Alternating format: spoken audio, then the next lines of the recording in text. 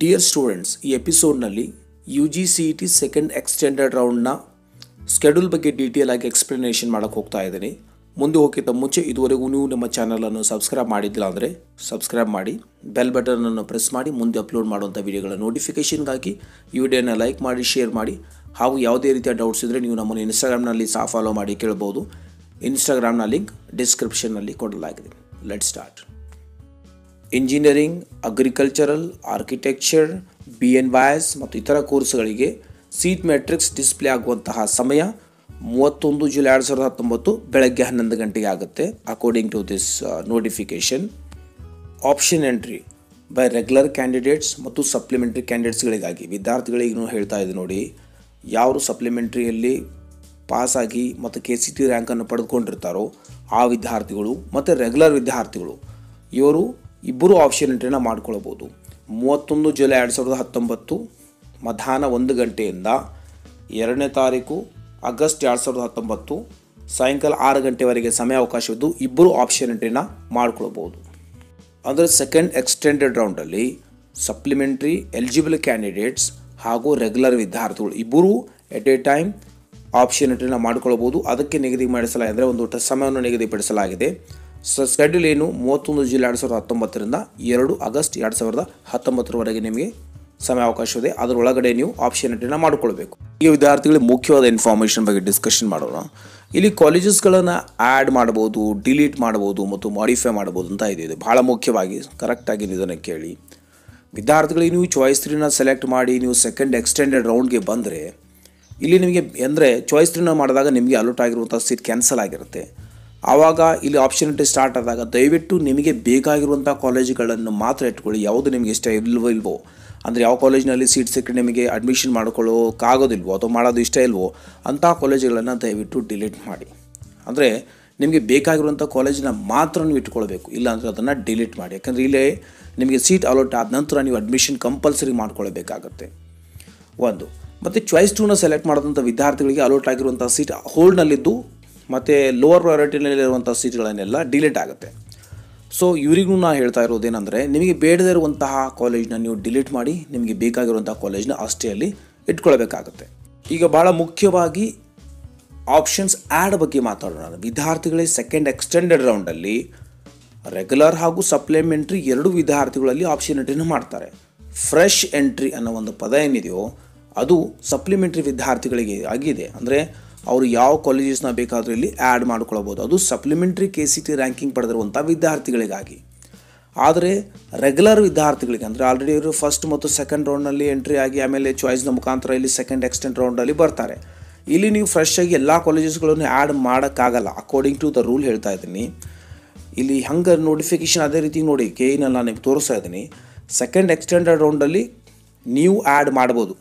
Second round ಆಗಿರ್ಬೋದು second extend ಅಂದರೆ first ರೌಂಡಲ್ಲಿ ಅಟೆಂಡ್ ಆಗಿರುವಂಥ ವಿದ್ಯಾರ್ಥಿಗಳು ಸೆಕೆಂಡ್ ಎಕ್ಸ್ಟೆಂಡೆಡ್ ರೌಂಡಲ್ಲಿ ಕಾಲೇಜಸ್ನೆಲ್ಲ ಆ್ಯಡ್ ಮಾಡ್ಬೋದು ಆಪ್ಷನ್ಸ್ ಹೆಚ್ಚಿಗೆ ಅಂದರೆ, ಮಾ ಆ್ಯಡ್ ಮಾಡ್ಬೋದು ಯಾವಾಗಂತಂದರೆ, ಒಂದು ವೇಳೆ ಹೊಸದಾಗಿ ಸೀಟ್ಸ್ ಮತ್ತು ಹೊಸದಾಗಿ ಕಾಲೇಜುಗಳು ಇಂಟ್ರಡ್ಯೂಸ್ ಆದಾಗ ಸೀಟ್ ಮ್ಯಾಟ್ರಿಕ್ಸಲ್ಲಿ ಬಂದಾಗ ಮಾತ್ರ ನೀವು ಆಪ್ಷನ್ಸ್ ಆ್ಯಡ್ ಮಾಡ್ಬೋದು ಒಂದು ವೇಳೆ ನೀವು ಫ್ರೆಶ್ ಆಗಿ ಮತ್ತೆ ಎಲ್ಲ ಆಪ್ಷನ್ಸ್ಗಳನ್ನ ಆ್ಯಡ್ ಮಾಡುವ ಹಾಗಿದ್ದರೆ ಅಲ್ಲಿ ಚಾಯ್ಸ್ ಟು ಚಾಯ್ಸ್ ತ್ರೀಗೆ ಯಾವುದೇ ರೀತಿ ಮೀನಿಂಗೇ ಬರುವುದಿಲ್ಲ.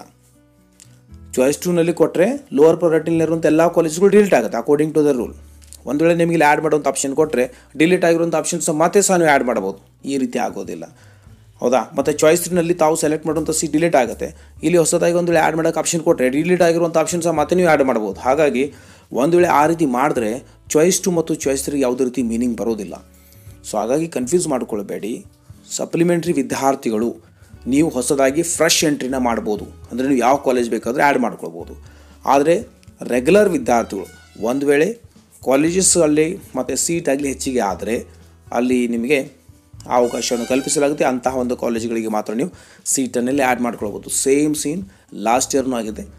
ಕೆಲವು ವಿದ್ಯಾರ್ಥಿ ನನಗೆ ಕಮೆಂಟ್ ಸೆಕ್ಷನ್ ಹಾಕಿದರು ಸರ್ ಲಾಸ್ಟ್ ಇಯರು ಸಹ ಇದನ್ನು ಕಾಲೇಜಸ್ನ ಆ್ಯಡ್ ಮಾಡುವಂಥ ಆಪ್ಷನ್ಸ್ ಬಿಟ್ಟಿತ್ತು ಸರ್ ಲಾಸ್ಟ್ ಇಯರು ಸಹ ಸಪ್ಲಿಮೆಂಟರಿ ವಿದ್ಯಾರ್ಥಿಗಳಿಗೆ ಬಿಡಲಾಗಿತ್ತು. ಮತ್ತು ಆಮೇಲೆ ರೆಗ್ಯುಲರ್ ಇದ್ದ ವಿದ್ಯಾರ್ಥಿಗಳು ಕೆಲವೊಂದು ಕಾಲೇಜ್ನಲ್ಲಿ ಕೆಲವೊಂದು ಸೀಟ್ಗಳು ಆ್ಯಡ್ ಮಾಡೋದರಿಂದಾಗಿ ಆ ಆ ಸೀಟ್ಗಳನ್ನು ಮಾತ್ರ ಆ್ಯಡ್ ಮಾಡಬಹುದಾಗಿತ್ತು. ವಿದ್ಯಾರ್ಥಿಗಳಿಗೆ ಕೆ ಇಯ ಗೈಡ್ಲೈನ್ಸ್ ಪ್ರಕಾರ ಅಂದರೆ ಕೆ ಸಿ ಟಿ ಒಂದು ಗೈಡ್ಲೈನ್ಸ್ ಪ್ರಕಾರ ನೀವು ಹೋಗಿ ಬ್ರೋಷರ್ ಸಹ ನೀವು ಓದ್ಕೊಳ್ಬೋದು ಅದರ ಪ್ರಕಾರ ನೀವು ಇಲ್ಲಿ ಹೊಸದಾಗಿ ಕಾಲೇಜುಗಳನ್ನು ಆ್ಯಡ್ ಮಾಡೋಕ್ಕಾಗಲ್ಲ. ಮಾಡಬೇಕಂದ್ರೆ ಕಂಡೀಷನ್ಸ್ ಇದೆ. ಅಂದಾಗಲೇ ಮಾತ್ರ ನೀವು ಆ್ಯಡ್ ಮಾಡ್ಬೋದು ಸೊ ಹಾಗಾಗಿ ವಿದ್ಯಾರ್ಥಿಗಳಿಗೆ ನೀವು ಕನ್ಫ್ಯೂಸ್ ಆಗಬೇಡಿ, ನೀವು ವೇಟ್ ಮಾಡಿ, ನೀವು ಆಪ್ಷನ್ ಎಂಟ್ರಿ ಸ್ಟಾರ್ಟ್ ಮಾಡುವಾಗ ಒಂದು ವೇಳೆ ನಿಮಗೆ ಎಲ್ಲ ಆಪ್ಷನ್ಸ್ಗಳಲ್ಲಿ ಅವೈಲೇಬಲ್ ಇದೆ ಫ್ರೆಶಿಗೆ ಮತ್ತೊಂದು ಸಲ ಆ್ಯಡ್ ಮಾಡುವ ಹಾಗಿದ್ದರೆ ರೆಗ್ಯುಲರ್ ಕ್ಯಾಂಡಿಡೇಟ್ಸ್ಗಳು ಇರೋದಿಲ್ಲ ಒಂದು ವೇಳೆ ಇದ್ದರೆ ನೀವು ಆ್ಯಡ್ ಮಾಡಿ. ಮತ್ತು ಯಾಕೆಂದರೆ ರೂಲ್ ಪ್ರಕಾರ ಇದು ಆಗೋದಿಲ್ಲ. ಮತ್ತು ಸಪ್ಲಿಮೆಂಟ್ ವಿದ್ಯಾರ್ಥಿಗಳು, ನೀವು ಆಪ್ಷನ್ ಎಂಟ್ರಿನ ಫ್ರೆಶ್ ಆಗಿ ನೀವು ಮಾಡ್ಬೋದು. ಹಾಗೂ ವಿದ್ಯಾರ್ಥಿಗಳು ಫಸ್ಟ್ ರೌಂಡಲ್ಲಿ ಮತ್ತು ಸೆಕೆಂಡ್ ರೌಂಡಲ್ಲಿ ಸೀಟ್ ಅಲೋಟ್ ಆಗಿದ್ದು ಅಂತಹ ವಿದ್ಯಾರ್ಥಿಗಳು ಸೀಟನ್ನು ಸ ಕ್ಯಾನ್ಸಲ್ ಮಾಡ್ಕೊಳ್ಬೇಕಂತ ಇದ್ದರೆ ಅವರಿಗೂ ಸಹ ಅವಕಾಶವಿದೆ. ವಿದ್ಯಾರ್ಥಿಗಳಿಗೆ ನೀವು ಎರಡು ಆಗಸ್ಟ್ ಎರಡು ಸಾವಿರದ ಹತ್ತೊಂಬತ್ತು ಸಾಯಂಕಾಲ ಐದು ಗಂಟೆವರೆಗೆ ನಿಮಗೆ ಸಮಯಾವಕಾಶವಿದೆ.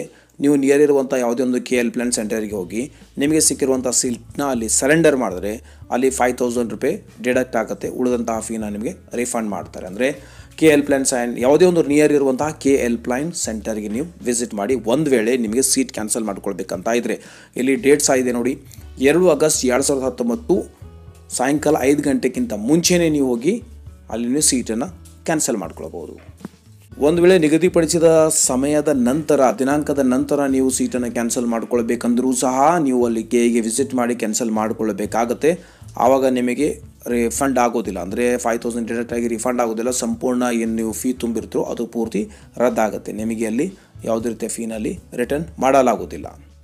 ವಿದ್ಯಾರ್ಥಿಗಳು ಸೆಕೆಂಡ್ ಎಕ್ಸ್ಟೆಂಡೆಡ್ ರೌಂಡಲ್ಲಿ ನಿಮಗೆ ಸೀಟ್ ಸಿಕ್ಕಾಗ ಅಡ್ಮಿಷನ್ ಕಂಪಲ್ಸರಿ ಮಾಡ್ಕೊಳ್ಬೇಕಾಗತ್ತೆ. ಒಂದು ವೇಳೆ ನೀವು ಮಾಡ್ಕೊಂಡಿದ್ದಿಲ್ಲ ಅಂತಂದರೆ ಒಂದು ಎಕ್ಸಾಂಪಲ್ ಹೇಳ್ತಾ ಇದ್ದೀನಿ. ನಿಮಗೆ ಇಂಜಿನಿಯರಿಂಗ್ನಲ್ಲಿ ನಿಮಗೆ ಸೀಟ್ ಸಿಕ್ಕಿದೆ, ಆದರೆ ನೀವು ಅಲ್ಲಿ ಅಡ್ಮಿಷನ್ ತೆಗೆದುಕೊಂಡಿದ್ದಿಲ್ಲಪ್ಪ ಅಂತಂದರೆ ಸೊ ಆವಾಗ ನಿಮಗೆ ನೆಕ್ಸ್ಟ್ ಇಯರ್ ಸೇಮ್ ಸಿ ಅಂದರೆ ಸ್ಟ್ರೀಮಲ್ಲಿ ನೀವು ಮತ್ತೆ ಈ ಸೀಟನ್ನು ತೆಗೆದುಕೊಳ್ಳೋಕ್ಕಾಗೋದಿಲ್ಲ ಅಂದರೆ ನೀವು ಮತ್ತೆ ನೆಕ್ಸ್ಟ್ ಇಯರ್ನಲ್ಲಿ ಕೆ ಸಿ ಟಿ ನಿಮಗೆ ಎಂಟ್ರಿ ಮಾಡೋಕ್ಕೆ ಅಲೋ ಮಾಡೋದಿಲ್ಲ. ಮತ್ತೆ ನೀವು ಬೇಕಾದರೆ ಆಯುಷ್ ಆಗಲಿ, ಮತ್ತು ನೀಟಲ್ಲಿ ನೀವು ಟ್ರೈ ಮಾಡ್ಬೋದು. ಆದರೆ ಈ ಸ್ಟ್ರೀಮಲ್ಲಿ ನಿಮಗೆ ಮತ್ತೆ ನೀವು ಸೀಟನ್ನು ಸೆಲೆಕ್ಟ್ ಮಾಡೋಕ್ಕಾಗೋದಿಲ್ಲ ಅಂಥ ವಿದ್ಯಾರ್ಥಿಗಳಿಗೆ ಕಂಪ್ಲೀಟಾಗಿ ಬ್ಯಾನ್ ಮಾಡುತ್ತೆ. ಸಿಕ್ಕರೂ ಸಹ ನೀವು ಹೋಗಿ ಕ್ಯಾನ್ಸಲ್ ಮಾಡಿಕೊಳ್ಳುವಂತಹ ಒಂದು ನೋಟಿಫಿಕೇಶನ್ ಬಂದರೆ ನಾನು ನಿಮಗೆ ಹೇಳ್ತೀನಿ. ಈ ಸೆಕೆಂಡ್ ಎಕ್ಸ್ಟೆಂಡ್ ರೌಂಡಲ್ಲಿ ಸೀಟ್ ಸಿಕ್ಕರೂ ಸಹ ಕೆಲವು ವಿದ್ಯಾರ್ಥಿಗಳು ಹೋಗೋ ಅವಕಾಶ ಇರುವುದಿಲ್ಲ. ಅಂಥ ವಿದ್ಯಾರ್ಥಿಗಳು ಸಹ ಸೀಟನ್ನು ಹೋಗಿ ಸರೆಂಡರ್ ಮಾಡೋದ್ರ ಮುಖಾಂತರ ಮತ್ತೆ ನೀವು ನೆಕ್ಸ್ಟ್ ಇಯರ್ ಅಟೆಂಡ್ ಮಾಡ್ಕೊಳ್ಬೋದು second extended round result announce ಆಗುವುದು ನಾಲ್ಕು ಆಗಸ್ಟ್ ಎರಡು ಸಾವಿರದ ಹತ್ತೊಂಬತ್ತು ಸಾಯಂಕಾಲ ಆರು ಗಂಟೆವರೆಗೆ. ಇದು ರೆಗ್ಯುಲರ್ ವಿದ್ಯಾರ್ಥಿಗಳಿಗಾಗಿ. ಮೊದಲು ರೆಗ್ಯುಲರ್ ವಿದ್ಯಾರ್ಥಿಗಳ ರಿಸಲ್ಟನ್ನು ಬಿಟ್ಟ ನಂತರ ಸಪ್ಲಿಮೆಂಟ್ ರಿಸಲ್ಟ್ ಬಿಡಲಾಗುತ್ತೆ. ಸೊ ಹಾಗಾಗಿ ವಿದ್ಯಾರ್ಥಿಗಳಿಗೆ ಪಬ್ಲಿಕೇಶನ್ ಡೇಟ್ ಇಲ್ಲಿ ಹೇಳ್ತಾ ಇದೆ. Result publication of second extended round seat allotment result to regular students only regular ವಿದ್ಯಾರ್ಥಿಗಳಿಗಾಗಿ ನಾಲ್ಕು ಆಗಸ್ಟ್ ಎರಡು ಸಾವಿರದ ಹತ್ತೊಂಬತ್ತು ಸಾಯಂಕಾಲ ಆರು ಗಂಟೆವರೆಗೆ ನಿಮಗೆ ಅಲ್ಲಿ ರಿಸಲ್ಟ್ ಡಿಸ್ಪ್ಲೇ ಆಗುತ್ತೆ. ಸಪ್ಲಿಮೆಂಟರಿ ವಿದ್ಯಾರ್ಥಿಗಳಿಗೆ ರಿಸಲ್ಟ್ ಅನೌನ್ಸ್ ಆಗುವಂತಹ ಡೇಟ್ ಐದು ಆಗಸ್ಟ್ ಎರಡು ಸಾವಿರದ ಹತ್ತೊಂಬತ್ತು ಮಧ್ಯಾಹ್ನ ಎರಡು ಗಂಟೆಯ ನಂತರ ನಿಮಗೆ ಅನೌನ್ಸ್ ಆಗುತ್ತೆ. ವಿದ್ಯಾರ್ಥಿಗಳೇ, ಮೊದಲು ರೆಗ್ಯುಲರ್ ವಿದ್ಯಾರ್ಥಿಗಳಿಗೆ ರಿಸಲ್ಟ್ ಅನೌನ್ಸ್ಮೆಂಟ್ ಆದ ನಂತರ ಉಳಿದಿರುವಂಥ ಸೀಟ್ಗಳಿಗೆ ಸಾಫ್ಟ್ವೇರ್ ಏನು ಮಾಡುತ್ತೆ? ಮತ್ತು ಇನ್ನೊಂದು ಸಲ ಪ್ರೊಸೆಸಿಂಗ್ ಮಾಡಿ ಉಳಿದಿರುವಂಥ ಸೀಟ್ಗಳು ಚೆಕ್ ಮಾಡ್ತೀನಿ. ನಿಮ್ಮ ಅಕಾರ್ಡಿಂಗ್ ಟು ಯರ್ ಪ್ರಯಾರಿಟಿ ಒಂದು ವೇಳೆ ನಿಮಗೆ ಅಲ್ಲಿ ಸೀಟ್ ಲ ಇದ್ದರೆ ಅದು ನಿಮಗೆ ಅಲರ್ಟ್ ಆಗುತ್ತೆ. ಇಲ್ಲಾಂದರೆ ಇಲ್ಲ. ಇಲ್ಲಿ ಆಪ್ಷನ್ ಎಂಟ್ರಿ ಸಪ್ಲಿಮೆಂಟ್ರಿ ಮತ್ತು ರೆಗ್ಯುಲರ್ ವಿದ್ಯಾರ್ಥಿಗಳಿಗೆ ಸೈಮಲ್ಟೇನಿಯಸ್ಲಿ ಸ್ಟಾರ್ಟ್ ಆಗುತ್ತೆ. ಆದರೆ ಸಾಫ್ಟ್ವೇರ್ ಮೊದಲು ಏನು ಕನ್ಸಿಡರ್ ಮಾಡೋದಂದರೆ ರೆಗ್ಯುಲರ್ ವಿದ್ಯಾರ್ಥಿಗಳ ಒಂದು ಆಪ್ಷನ್ಸ್ನ ಇಷ್ಟೇ ಕನ್ಸಿಡರ್ ಮಾಡುತ್ತೆ. ಅವ್ರ ರಿಸಲ್ಟ್ ಪಬ್ಲಿಷ್ ಆದ ನಂತರ ನಿಮ್ಮ ಆಪ್ಷನ್ಸ್ನ ಕನ್ಸಿಡರ್ ಮಾಡಿ, ಮತ್ತೆ ಪ್ರೊಸೆಸಿಂಗ್ ಮಾಡುತ್ತೆ. ಅಕಾರ್ಡಿಂಗ್ ಟು ಯುವರ್ ಪ್ರಯಾರಿಟಿ ಮತ್ತು ಮೆರಿಟ್ ಮುಖಾಂತರ ಅದು ಹೋಲ್ ಪ್ರೊಸೆಸಿಂಗ್ ಮಾಡಿ, ಅಲ್ಲಿ ಸೀಟ್ಗಳನ್ನು ನೋಡಿದ್ರೆ ನಿಮಗೆ ಅಲರ್ಟ್ ಮಾಡುತ್ತೆ. Payment of fee and downloading admission order for regular and supplementary students ನೋಡಿ ವಿದ್ಯಾರ್ಥಿಗಳು ನಿಮಗೆ ರಿಸಲ್ಟ್ ಅನೌನ್ಸ್ ಆದ ನಂತರ ನಿಮಗೆ ಅಲ್ಲಿ ಒಂದು ಲಿಂಕ್ ಬರುತ್ತೆ, ಅದರ ಮೇಲೆ ಕ್ಲಿಕ್ ಮಾಡಿ ಪೇಮೆಂಟ್ ಮಾಡೋದಕ್ಕಾಗಿ. ಅದರ ಮೇಲೆ ಕ್ಲಿಕ್ ಮಾಡಿದಾಗ ನೀವು ಬ್ರಾಂಚನ್ನು ಸೆಲೆಕ್ಟ್ ಮಾಡಿ ಬ್ಯಾಂಕನ್ನು ಸೆಲೆಕ್ಟ್ ಮಾಡಿ ಬ್ಯಾಂಕ್ ಸೆಲೆಕ್ಟ್ ಮಾಡಿದ ನಂತರ ನಿಮಗೆ ಚಾಲೆಂಜ್ ಜನರೇಟ್ ಆಗುತ್ತೆ ಟ್ರಿಪ್ಲೇಟ್ ಅಂತ. ಟ್ರಿಪ್ಲೇಟ್ ಚಾಲೆಂಜ್ ಜನರೇಟ್ ಆಗುತ್ತೆ. ಅದರ ಮೇಲೆ ನೀವು ಡೀಟೇಲ್ಸ್ ಇರ್ತದೆ, ಅದನ್ನು ಚೆನ್ನಾಗಿ ರೀಡ್ ಮಾಡಿ ಕರೆಕ್ಟ್ ಆಗಿದೆಯಲ್ಲ ಅಂತ ನೋಡ್ಕೊಳ್ಳಿ, ಅದಾದ ನಂತರ ಸಿಗ್ನೇಚರ್ ಮಾಡಿ. ಅಲ್ಲಿ ಮೆನ್ಷನ್ ಮಾಡಿರುವಂಥ ಬ್ಯಾಂಕ್ನ ಯಾವುದೇ ಒಂದು ಬ್ರಾಂಚ್ ನಿಯರ್ ಇರುವಂಥ ಬ್ರಾಂಚಿಗೆ ಹೋಗಿ ನೀವು ಫೀ ಪೇ ಮಾಡಿ. ಮಾಡಿದ ಒಂದು ಒಂದು ಅಥವಾ ಎರಡು ತಾಸುಗಳ ನಂತರ ನೀವು ಮತ್ತೆ ಬಂದು ಲಾಗಿನ್ ಮಾಡಿ.